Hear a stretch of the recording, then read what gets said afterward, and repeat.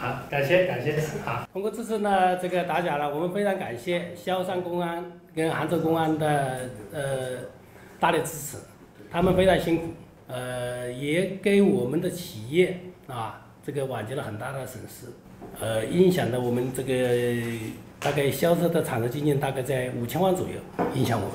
浙江华益生物科技股份有限公司的卢经理说，他们公司的杀虫剂在东南亚某国的市场份额大概占八成。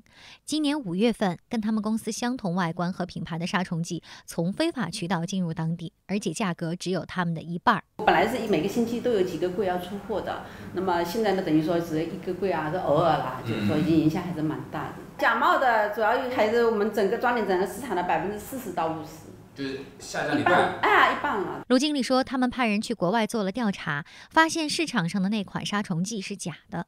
我们是有专利的，包括我们很多细节、盖子里面的按钮啊，都是有专利的，有商标。再还有我们还有防伪标志，有只有紫外线的灯才能照得出来。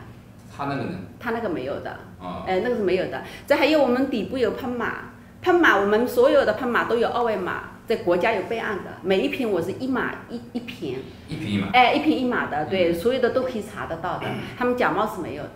卢经理表示，造假的那家企业非常嚣张，竟然在短视频平台上传了造假的流水线。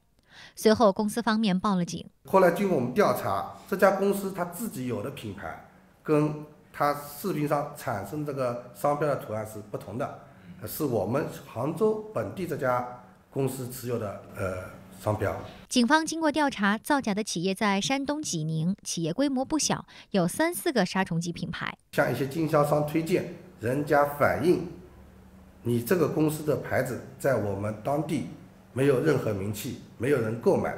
然后当地经销商说，在我们那个市场，宝利来这个牌子比较好，这个货你有多少，我们就能卖多少。自己牌子的杀虫剂在东南亚销售碰壁后，因为金钱驱使，山东的那家企业竟然造起了假。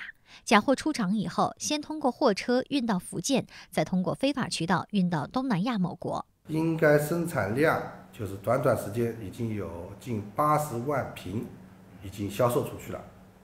现场我们当时在高速上也截获了一辆大货车，上面有三千多件，每件的话有二十四瓶。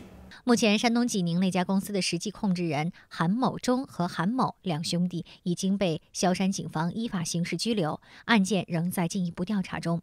幺八幺八黄金也记者报道。